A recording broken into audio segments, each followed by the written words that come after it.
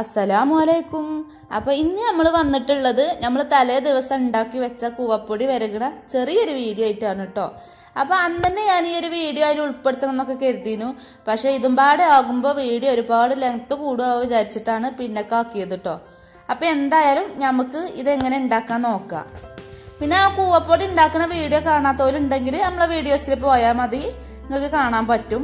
അപ്പൊ അതിക്ക് അധിക സാധനങ്ങളൊന്നും വേണ്ട. കുറച്ച് തേങ്ങയും ചക്കരയും പിന്നെ ഒരു മൂന്നാൽ ഏലക്കായ ഉണ്ടെങ്കിൽ സംഭവം എളുപ്പത്തിൽ ഉണ്ടാക്കാം. അപ്പൊ നമുക്ക് ചക്കര ആദ്യം ഒരുക്കാൻ വേണ്ടിയിട്ട് വെക്കാം. പിന്നെ ആ ചക്കര ഉരുക്കണ സമയത്ത് തന്നെ ഒരു മൂന്നാൽ ഏലക്കായ് കുത്തിയിട്ട് കൊടുക്കുക എന്നാ പിന്നെ ആ ചക്കര അരിച്ചുമ്പോ ആ ഏലക്കായുടെ തൊലിയും അതിന്റെ കൂട്ടത്തിലാണ് പോന്നോളും. പിന്നെ ഞാൻ തേങ്ങ ഇതുപോലെ ചെറുതാക്കി വെട്ടി കാണ്ടാട്ട് എടുത്തിട്ടുള്ളത് ഇനി ചിരണ്ടി കാണ്ട് എടുക്കണം എന്നുണ്ടെങ്കിൽ അങ്ങനെയും ചെയ്യാം. ഇനി നമുക്ക് കൂവപ്പൊടി നല്ലോണം വെള്ളത്തിലിട്ട് കലക്കിക്കാണ്ട് വരക്കാൻ തുടങ്ങാം.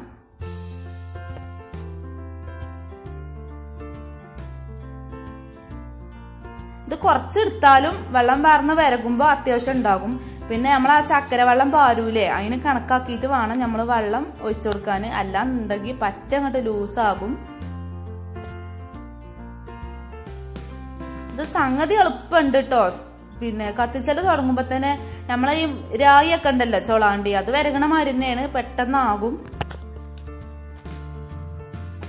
അപ്പൊ എന്തായാലും ഞാൻ കൂവപ്പൊടി ഉണ്ടാക്കാൻ വേണ്ടിയിട്ട് ഈ ഒരു പാത്രത്തേക്ക് മാറ്റിയിട്ടുണ്ട് കേട്ടോ ആ കൂട്ടത്തേക്ക് തന്നെ നമ്മൾ കട്ട് ചെയ്ത് വെച്ച തേങ്ങ ഇട്ട് കൊടുത്തിട്ടുണ്ട്. നീ നല്ലോണം ഇളക്കി കൊടുക്കുക. കജ്ജെടുക്കാതെ ഇളക്കണം കേട്ടോ അല്ലെങ്കിൽ അടിയിൽ പിടിച്ചും. പിന്നെ തിരിച്ചൊക്കെ ഒരു പാകത്തിൽ വെച്ചു കൊടുക്കണം. ഇപ്പൊ ഏകദേശം കുറുകി വരുന്നുണ്ട്. അപ്പൊ ഈ സമയത്ത് കുറച്ച് വെള്ളത്തിന്റെ കമ്മിയുണ്ട്. അപ്പൊ അതിന് പകരം നമ്മൾ ഉരുക്കി വെച്ച ചക്കര വെള്ളം ഉണ്ടല്ലോ അത് വാർന്നു കൊടുക്കുക. അപ്പൊ പാകത്തെ കുറുക്കായിട്ട് നമുക്ക് കിട്ടും. ഇനി നല്ലോണം കജ്ജെടുക്കാതെ ഇളക്കി കൊടുക്കണം കേട്ടോ. കാണാൻ തന്നെ നല്ല രസമാണ് അയിലാറൊക്കെ ഏറ്റവും നല്ല സാധനമാണ് കേട്ടോ.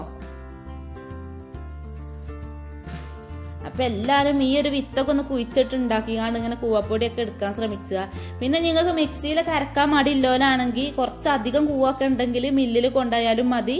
മില്ലിന്ന് ഒരു നല്ലോണം അരച്ചിട്ട് തരും. പിന്നെ നമുക്ക് പൊടി എടുത്താൽ മതി. ഇത് പിന്നെ അധികമൊന്നും ഇല്ലല്ലോ മിക്സിക്ക് തന്നെ ഉള്ളല്ലോ.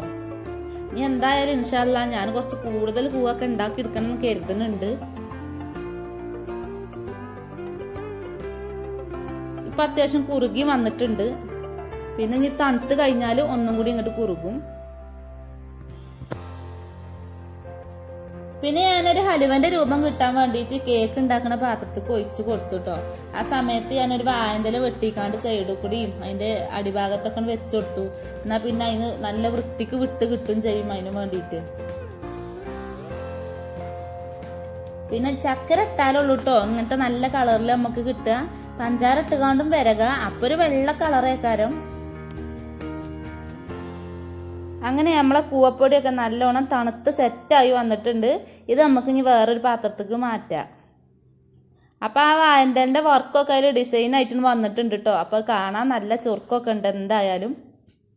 അപ്പൊ എല്ലാവരും ഒക്കെ ഇങ്ങനെ കുഴിച്ചിട്ടുണ്ടാക്കിക്കാണ്ട് കൂവപ്പൊടിയൊക്കെ ഉണ്ടാക്കി വിരകി നോക്കട്ടോ നമ്മൾ കടയിൽ നിന്നൊക്കെ മേടിച്ചുമ്പോൾ ഒരുപാട് പൈസയൊക്കെ കൊടുക്കണം. അപ്പൊ ഒന്നും മെനക്കെട്ടാൽ നല്ല സാധനം നമുക്ക് ഉണ്ടാക്കാം അപ്പോൾ എന്തായാലും ഈ വീഡിയോ നിങ്ങൾക്ക് ഇഷ്ടപ്പെട്ടിട്ടുണ്ടെങ്കിൽ ലൈക്ക് ചെയ്യുക ഷെയർ ചെയ്യുക കമന്റ് ചെയ്യുക. ഇനി പുതിയൊരു വീഡിയോസ് ആയിട്ട് വരുന്നത് വരെ എല്ലാവരോടും അസ്സലാമു അലൈക്കും.